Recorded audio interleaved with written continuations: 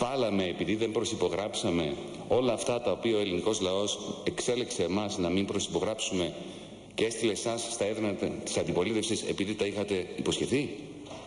Αν αυτό το, είναι, είναι, κάτι το οποίο αποτελεί τη θέση σας, θα χαιρόμουν πάρα πολύ αν το εκφράζετε ευθαρσώς. Ας έρθουμε όμως τώρα στο αφορολόγητο. Πράγματι κύριε συνάδελφε η καθιέρωση αφορολόγητου ποσού 12.000 θα δώσει ανάσες σε όλους, ιδίως εκείνους που πλήγησαν περισσότερο, φορολογούμενοι αν είναι δυνατόν σε μια πολιτισμένη χώρα από το πρώτο ευρώ. Η κατάργηση του φορολόγητου ήταν μέγιστη τροπή και νομίζω, είμαι σίγουρος, ότι και εσείς που την εισάγατε και την ψηφίσατε, γιατί έγινε επιμερών της κυβέρνησης του Πασόκ, δεν νιώθετε καλά τη στιγμή που το κάνατε. Το γνωρίζω αυτό και δεν το λέω ειρωνικά.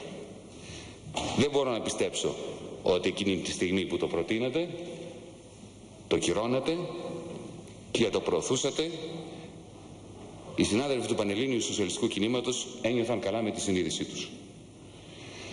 Όταν για το 2011 μειώνατε το φορολόγιο από τις 12.000 5.000, μετά το 2013 το εκμηδενήσατε, αντικαθιστώντας το με απαλλαγή 2.100 ευρώ σε όσους έφεραν αποδείξεις και πέρυσι καταργήσατε και αυτή την φοροαπαλλαγή για τους ελεύθερους επαγγελματίες.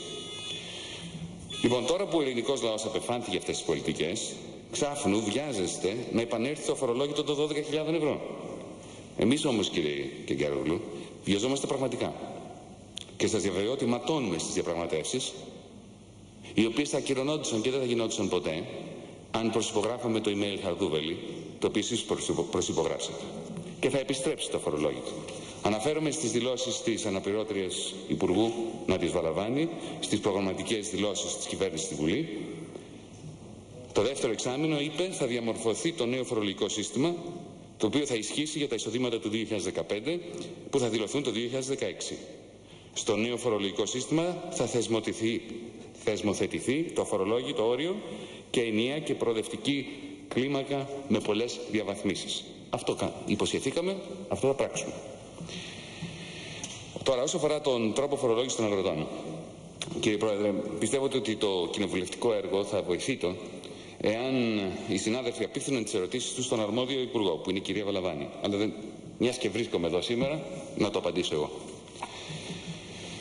Μετά την ψήφιση του νέου κώδικα φορολογίας εισοδήματος, του νόμου 4172, που ισχύει από την 1η Πρώτου του 2014, καταργήθηκε ο υπολογισμός του εισοδήματος των αγροτών με την προηγούμενη μέθοδο.